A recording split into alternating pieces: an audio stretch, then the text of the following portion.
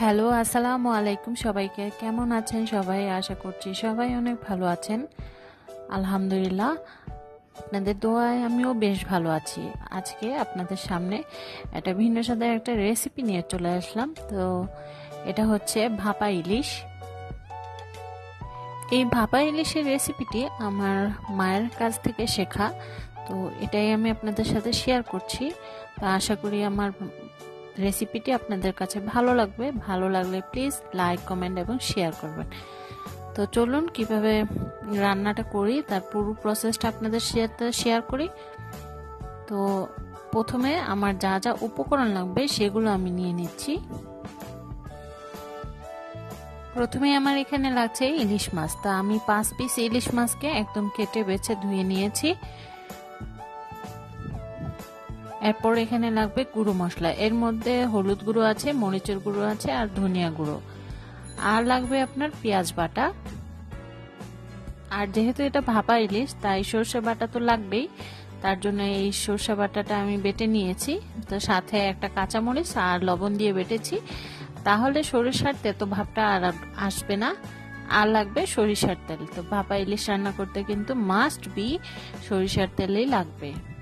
এখন আমি একটা মিশ্রণ তৈরি করে নিব। এখানে আমি একটা বাটি নিয়ে নিয়েছি। এর মধ্যে সব ধরনের যে গুঁড়ো মশলাগুলো, সেগুলো নিয়ে নিচ্ছি এক এক করে। সবগুলোই হাফ চা চামচ করে আছে।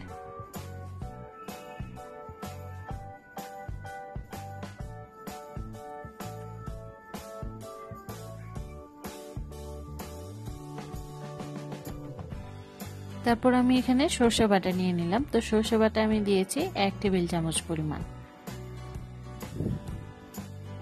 আর দিব পেঁয়াজ বাটা। পেঁয়াজ বাটা আমি দিব এক চা চামচ।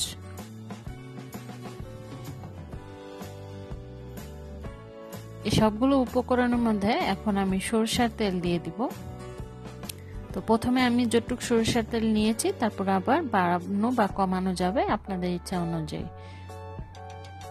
তারপর পুরোটা মশলা আমি একদম হাতের সাহায্যে সবটাকে ভালোভাবে মাখিয়ে নিচ্ছি, যেন একটার সাথে আরেকটা মশলাটা ভালোভাবে মিশে যায়। আপনারা চামচ ইউজ করতে পারেন, তো আমি হাত দিয়ে মাখালাম। তারপর পরিমাণ মতো লবণ দিয়ে নিলাম। দিয়ে মশলাটাকে আবার একটু ভালোভাবে মিক্স করে নিচ্ছি।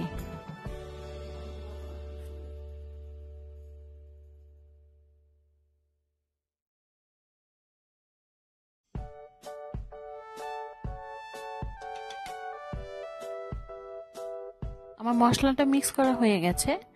এখন এই মশলার মধ্যে আমি ইলিশ মাছের টুকরোগুলো ভালোভাবে মাখিয়ে নেব। তো একটা একটা করে মশলার সাথে ভালোভাবে গড়িয়ে নিচ্ছি।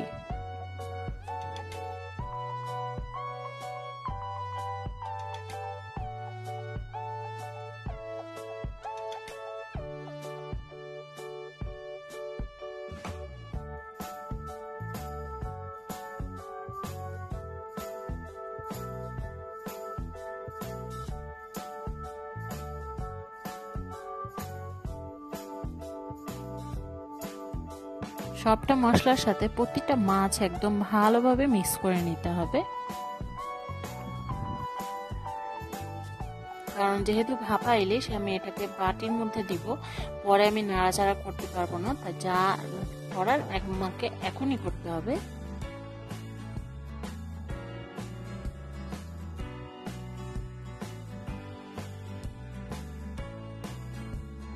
আমার মাছটা মাখানো হয়ে গেছে, এখন আমি এটাকে 10 মিনিটের জন্য ম্যারিনেট করে রেখে দেব।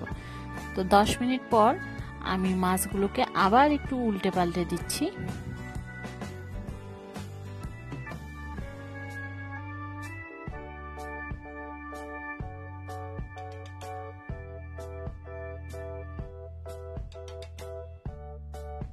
আবার 10 মিনিটের জন্য রেখে দেবো।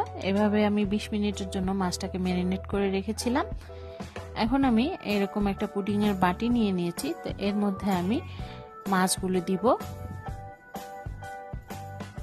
আমি একটা একটা করে মাছগুলোকে বিছিয়ে সুন্দরভাবে দিয়ে দিচ্ছি। প্রথমে আমি মাছগুলো দিয়ে নিচ্ছি। পরে মাছগুলোর উপরে সবটা মশলা আমি মিক্স করে দিয়ে দিব।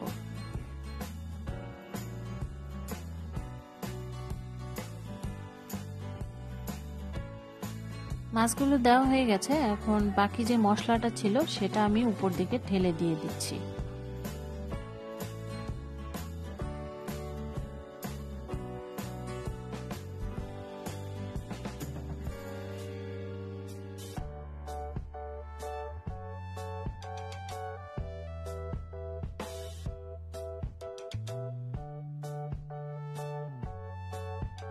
এখন এখানে আমি কাঁচামরিচ দিব। তো কাঁচামরিচটাকে আমি হালকা একটু ফেরে দিয়েছি।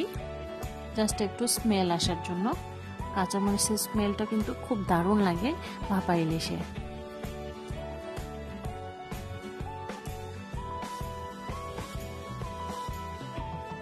তো সবগুলো দেওয়া হয়ে গেছে। এখন আমি ঢাকনা লাগিয়ে এটাকে চুলায় বসিয়ে দেব। তো চুলায় কীভাবে বসালাম সেটাও দেখাচ্ছি। একটা পাত্রে পানি দিয়ে দিলাম। তারপর আমার যে ভাপা ইলিশে বাটিটা, সেটা দিয়ে দিব। জাস্ট আমরা যেভাবে পুটিং বসাই চুলাতে, সেইভাবে বসাবো। তো বসিয়ে দিলাম বাটিটা, এখন আমি এটাকে ঢেকে দেব। ঢেকে একদম কাটায় কাটায় চল্লিশ মিনিট আমি এটাকে রান্না করব এবং চুলার আঁচটা মিডিয়াম লো আছে থাকবে। চল্লিশ মিনিট পর ফিরে আসছি।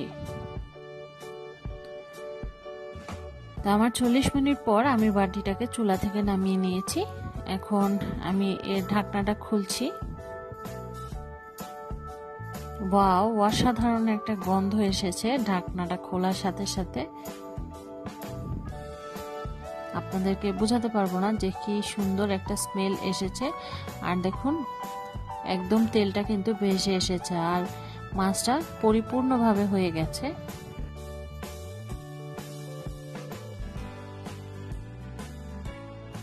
এখন আমি এটাকে প্লেটের মধ্যে সার্ভ করে নিচ্ছি। আপনারা বাসায় ট্রাই করবেন এই রেসিপিটা। আশা করি ভালো লাগবে আপনাদের কাছে। আর খুবই সহজে এবং কম উপাদানে এই রেসিপিটা তৈরি হয়ে যাবে।